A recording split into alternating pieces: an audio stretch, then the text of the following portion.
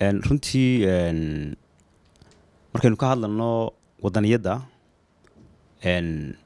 inagu xilligii hore nidaamkeenan dawliga aynu la soo noqonnay runtii may hana qaadin dadkeena wadaniyadda in la baro.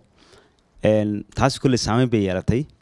Laakiin haddii su'aashooda u soo dhowaado wadaniyaddu marka laga hadlayo macnahaan waxay samaysaa oo lagu macneeyaa macnayaal kala duwan.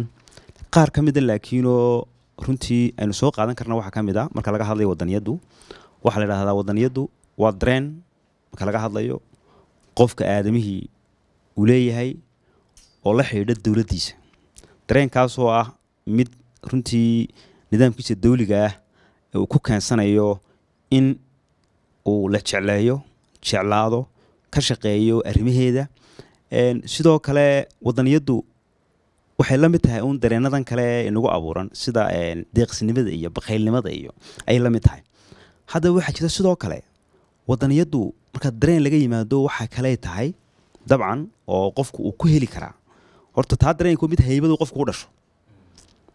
Oo qofku hibow leeyahay mid kalea jirto ah intuu qofku yaryahay lagu barbaariyo sida edabta wanaagsan iyo akhlaaqada iyo salaada iyo ilmaha lagu barbaariyo ayaa wadaniyadina waxa lagu barbaariyaa dadku markay yaryar yihiin wadanku macnuhu ugu fadhiya iyo siduu bulshada ula noolaanaya iyo siduu ummadda wax wada qabsata iyo yacnihii inuu fahmo iyo sidoo kale xuquuqaha iyo waajibaadka waddanku ku leeyahay. Sababtaa wadaniyadda mar kale waxa lagu qeexaa barashada xuquuqaha iyo waajibaadka muwaadinka lagu qeexaa. Oo qeexitaano badan bay leedahay. Dabcan marka laga hadlayo wadaniyaddu waa mid muhiim u ah nolosha guud ee mujtamaca ka dhexeeya ee wada noolaanshaha ama ummad ahaan ama mataqaanaa dad isku meel deganoo isku xaafada ama dad isku degmaa ama isku gobola waxaa ka dhexeeya waa nolol guud. Noloshaa guud bay muhiim u tahay. Wadaniyaddu haddaba oo markaynu eegno dee saddex nololood baa jira.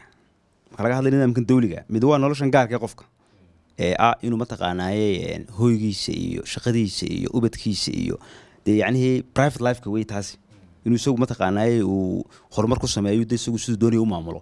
Midna waa civic life oo noloshii guud aynaga dhexaysay oo ah wax wada qabsigii iska hagaajintii qashinka intaad xaafadda wada degan ama gobolka wada degan ama ummaddaba dabcan oo leefale kala duwan bay leedahay janajirooyinku wax wada qabsigii is-abaabulkii mataqaanaaye iyo sidoo kale dadku inay iska warhayaan inay ka wada shaqeeyaan waxyaabaha iyaga danta way dhex yaalla. Sida caafimaadkooda waxbarashada xaafadda waddooyinka nadaafadda taana waxa nolosha guud baa la dhahdaa nolosha kale waa political life. Nolosha political life iyaduna labada nololeed kale ayay ilaalisaa. Nolosha gaarkaana way ilaalisaa. Kama hor timaado nolosha guudna way ilaalisaa. Marka marka laga hadlayo wadaniyaddu faa'iidooyin badan bay leedahay.